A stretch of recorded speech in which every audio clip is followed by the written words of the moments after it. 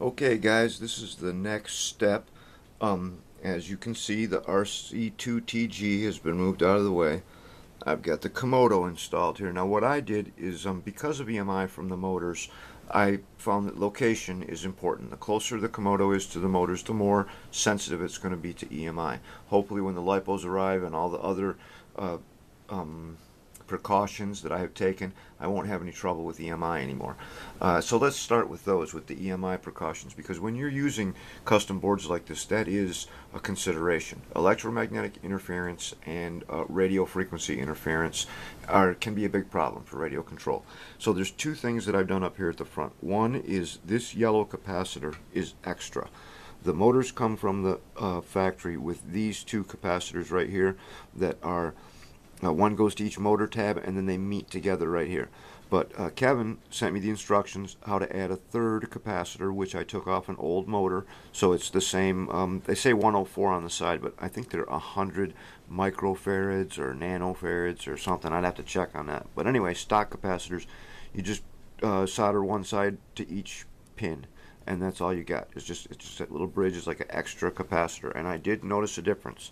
Okay, the next thing I've done, I don't know how easy these are going to be to see, but this is an iron ferrite ring, and so is this. I got them at Radio Shack. I got uh, two of them for, I don't know, a couple bucks, $3 maybe. Um, and they just snap over the wires. So I've got one going over the two negative wires and one going over the two positive wires. And I still have to check with Kevin. I mean, for all I know, that might not be doing me any good at all. But uh, it was recommended by Eric to use iron ferrite rings. I just forgot to ask him where exactly I should put them. But that's where they are, and if they're uh, not right, they will come off, and I can change them around. So now the Komodo is in, in place, and uh, I've brought it up here. Let's see if I can get, so you can see the. You can't really see the connections because I've, I've got them all tucked way down in there, but I did it right. I used 18 gauge wire in between the Komodo and the wires from the motors.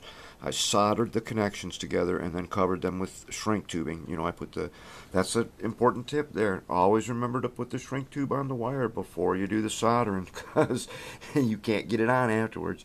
So anyway, the iron ferrite rings are in, the capacitors are in, all the wires are run back to the Komodo and you know properly installed. The Komodo is plugged into the uh, IR port, and this will be uh, where the trigger switch will plug in. That's coming down from the turret, and on this tank, because the S33 has a slip ring, it comes down from that.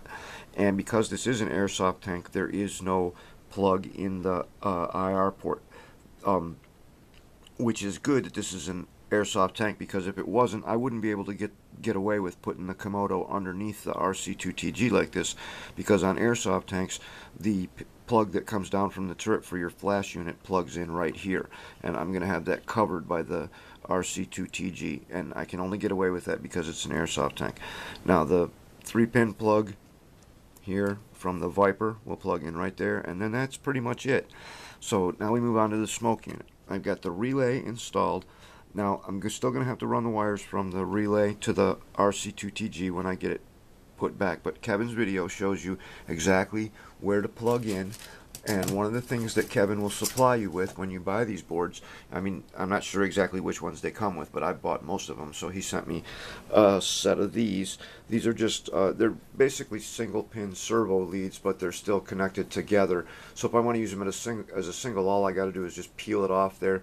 And that's how I'll get the wires to run from the uh, relay to the RC2TG and they just plug in. They'll, um, like I said, Kevin's video explains it all. They're uh, clearly marked. This is ground, uh, VCC, and uh, N1. I got to check the video again. I, am 99% positive you got negative, positive signal.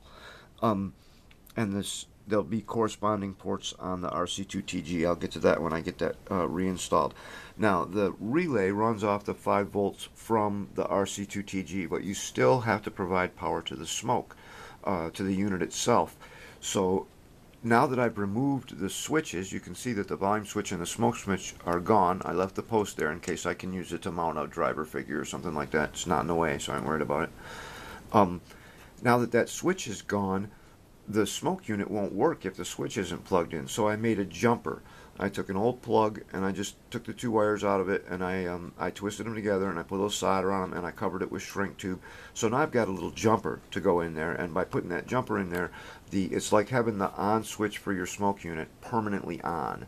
And uh, so now I can still use the original smoke unit port to draw power. And I split the red wire right here and I put one of the wires into the common and then I put the other one into normally closed because I want my smoke unit to be on as soon as I turn the tank on and I want the switch on the radio so that I can turn it off if I want to. But normally it will be on so I use the normally closed as opposed to the normally open. And that's pretty much all there is to the uh, smoke unit and the relay. It's pretty much the same thing if I do the other relay for headlights.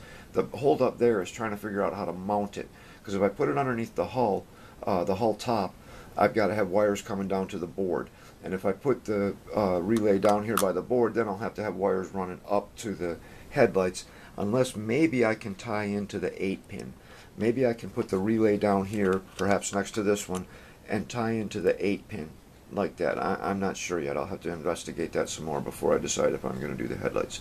So there we are. That's pretty much where we said we wanted to get to. I've still got to mount the uh, um, Viper to the side of the receiver but I'll do that after I get the RC2TG back in place and get the uh, relay wired up.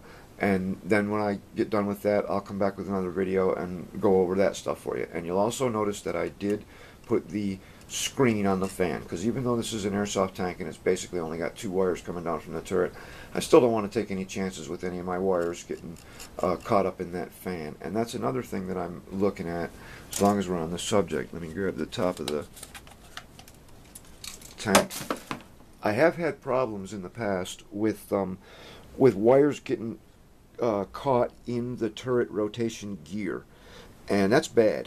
when it starts clicking and you know you're only a quarter way through the turn, you know something's getting caught in there, and it tears up your wires. So I'm going to see if I can come up with some kind of screen or something out of uh, maybe styrene or something like that to uh, protect. Um, the wires from getting caught up in the turret rotation gear.